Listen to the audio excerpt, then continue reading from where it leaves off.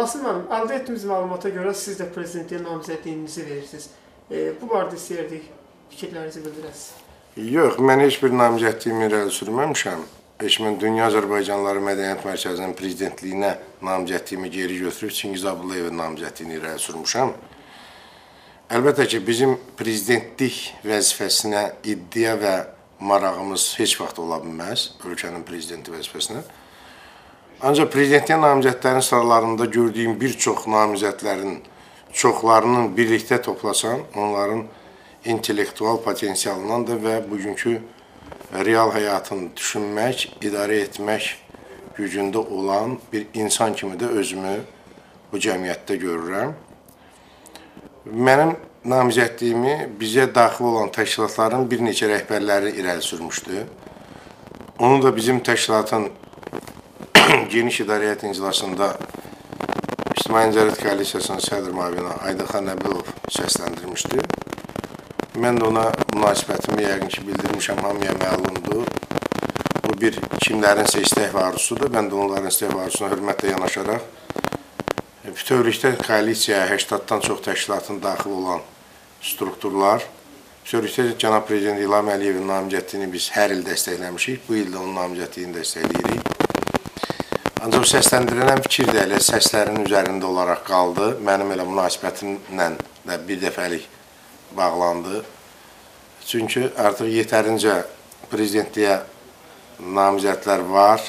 Cənab prezident real namizəddir və artıq sosial şəbəkələrdə, kütləvi informasiya vasitələrində, ictimaiyyətdə, nəqliyyatda artıq biz görürük ki, bütövlükdə Azərbaycan xalqı cənab prezidentin bu 15 il ərzində gördüyü işləri yüksək qiymətləndirir və ölkədəki sabitliyin və inkişafın ən yüksək səviyyədə nail olmasını xalqımız gözəl, şəffaf görür. Bu gün ayrı-ayrılıqda dünyanın başqa-başqa yerlərdən fikir versək, Azərbaycan ən sabit və inkişaf edən bir ölkədir. Qüsur və nöqsanlar hər bir yerdə var, çatışmamazlıqlar hər bir yerdə olur. Bütövlükdə hər bir ailə başçısı öz ailəsindəki baş verən proseslərə nə dərəcə çətinliklə müdaxilə etməsini, cəmiyyətin, dünyanın, bəşəriyyətin hara doğru hərəkətini görərək və özümüzün həyatımızdakı kiçik bir, xırda bir problemlərin həllini necə çətinlik çəkməyimizi nəzərə alsaq, ölkənin prezidentliyi səlahiyyətini də azacıq dərk eləyərik. Bilirsiniz, Bu səlahiyyət ilahi tərəfindən mütləq və mütləq ilahinin öz mərhəməti və gücü sayəsində olur. Hər oxuyan molla pənah ola bilməz. 25 indi müxalifət birləşərək şura, milli şura, birlik, milli birlik, dirçəliş, bütün hər şeyləri yaratdılar.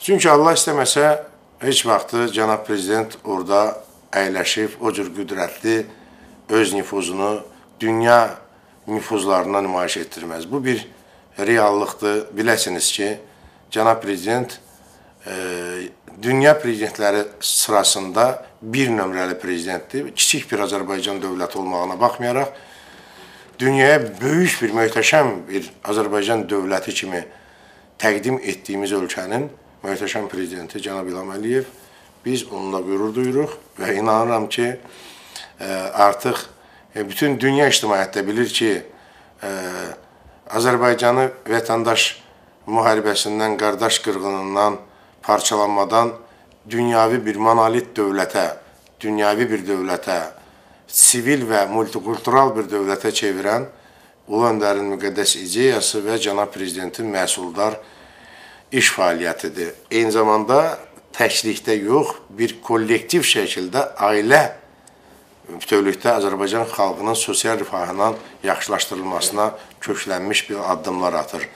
İstər e, e, Leyla Xanım Əliyevanın fəaliyyəti, istər Arzu Əliyevanın fəaliyyəti, istər Mehriban xanımın birinci vitse-prezident kimi fəaliyyətində möhtəşəm sıraçların olması, eyni zamanda cənab prezidentin özünün də e, jurnalistlərə və elm, incəsənət, mədəniyyət, e, ədəbiyyat xadimlərinə, yazıcı və alimlərə olan böyük dərin hörmət və rəğbətinə irəli gəlir. Bu boyda alimi, yazısı, ə, e, gəncliyi, bu boyda ə, Qarabağ qaziləri, veteran, Əmək və Müharibə Veteranları Şurası, Yazıçılar Birliyi, Bəstəkarlar Birliyi olan bir ölkədə artıq demək olar ki, cənab prezidentin prezidentliyi qeyri-rəsmi olaraq təsdiq olunub. 11 apreldə də xalqımızın iradəsi ilə rəsmi şəkildə xalqa bəyan ediləcək və bu seçkidən də sonra isə Azərbaycanın ictimai mühit və həyatında e, yeni bir nəfəs, yeni bir simalar, yeni bir təkanlar olacaq. Çünki artıq insanlar artıq yeni simalar istəyirlər, yeni intellektual gəncliyin düşüncələrindən bəhrələnmək istəyirlər müasir dövrün tələblərinə, sosial sifarişlərindən irəli gələn bütün problemlərin həllini istəyir cəmiyyət. E, müxalifət demək olar ki, seçkiləri boykot edib və martdan e, geniş miqyaslı mitinqlər planlaşdırır. Sizcə hə. bu baş tuta biləcəkmi? Bilirsiniz, mən sizə yenə də deyim ki, bu gün müxalifətin sıralarına baxanda biz orada bir intellektli, elmi savadlı, potensiallı bir gənclik də görmürük bir cinayətə meyilli, həyatını e, ancaq qara piyarlar üzərində qurmuş, cəmiyyəti, ictimaiyyəti sanki negativ və mənfi görənlərin bir toplumudur. E, bu günlərim e, orada fərdi qaydada dövlətçilik ənənəsini bir kənara qoyaraq, e, dövlətin monolitliyini bir kənara qoyaraq, özlərinin şəxsi maraqlarını və şəxsi ambisiyalarından bir nifrət hissi özlərində süni şəkildə oyadıb, həyatlarında geriyə yolu olmayanlardır. Məsələn, mən onların sıralarında olan e, çox dedikcə e,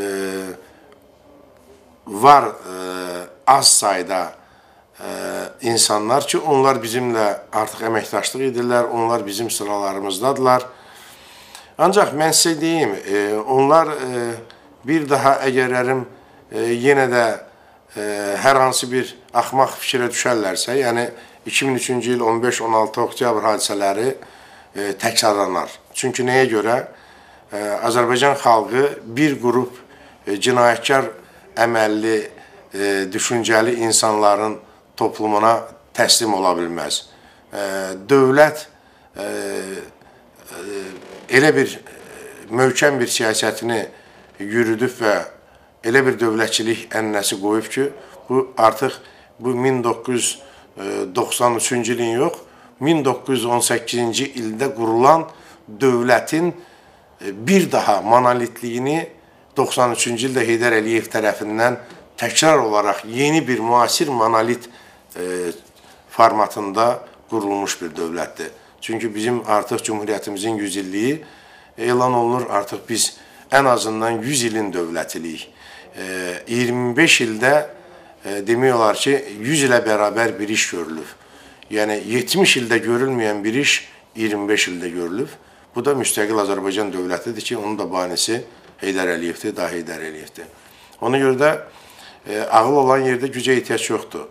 E, Azərbaycanda yetərincə savadlı, elmi potensiallı gənclik var ki, onları fərdi qaydada tərk-silah eləyəcək. Onların hər biri ilə məişətdə, cəmiyyətdə, e, nəqliyyatda onların e, layiqli, düzgün cavabını verib ictimai qınaq edərək, eyni zamanda ictimai nəzarət koalisiyasının çoxsaylı toplumu ilə onlar e, artıq e, ədalətli düşüncələrə gəlməyə məcbur ediləcək faktlarla, argumentlərlə. Çünki biləsiniz ki, dünyanın heç bir yerində nə Azərbaycan xalqı kimi qonaqpərvər, nə Azərbaycan xalqı kimi insanpərvər, nə Azərbaycan xalqı kimi dövlətsevər və böyüyə kiçiyə hörmət qoyan xalq olmayıb. Dünyada mədəniyyətin təməli şərtdən gəlir. Ona görə də mən inanıram ki, bizim həm siyasi mədəniyyətimiz, həm ictimai mədəniyyətimiz, həm sosial mədəniyyətimiz imkan verməyəcək ki, biz mədəniyyətsiz insanlara təslim olaq.